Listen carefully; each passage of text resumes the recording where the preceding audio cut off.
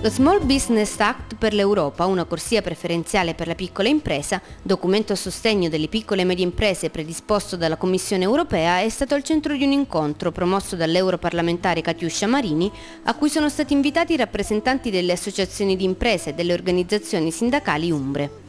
L'atto è stato presentato nel corso della riunione che si è rivelata un'occasione di confronto per fare il punto sulla situazione delle politiche a sostegno delle PMI e per accogliere proposte, suggerimenti o dubbi da tenere in considerazione nella discussione e modifica dell'atto in Parlamento europeo. Il Parlamento europeo si trova a discutere uno dei provvedimenti chiave della Commissione europea che è la proposta di un quadro di riferimento e di proposte legislative e regolamentari da parte dell'Europa a sostegno della piccola e media impresa europea.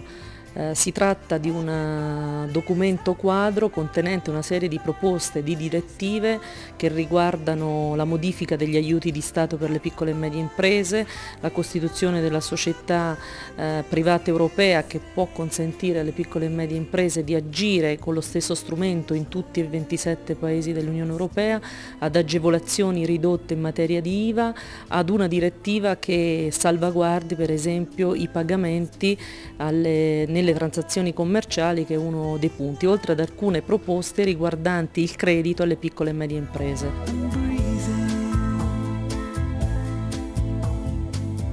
Questa è una misura che effettivamente, come dice la stessa parola, è un affari piccoli, ma piccoli messi tutti insieme possono fare una grande forza d'urto. Eh, L'Unione Europea si è accorta di 24 milioni di microimprese, di cui 6 milioni in Italia, eh, che lavorano tutto il giorno e che hanno bisogno di un'attenzione a parte rispetto al mondo della grande finanza e della grande industria.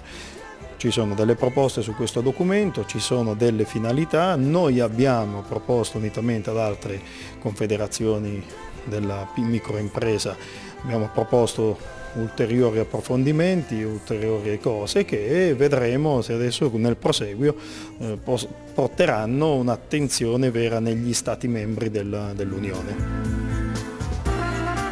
Questa attenzione con strumenti adeguati da parte dell'Europa è anche un'attenzione a sostenere un pezzo importante per la crescita economica europea.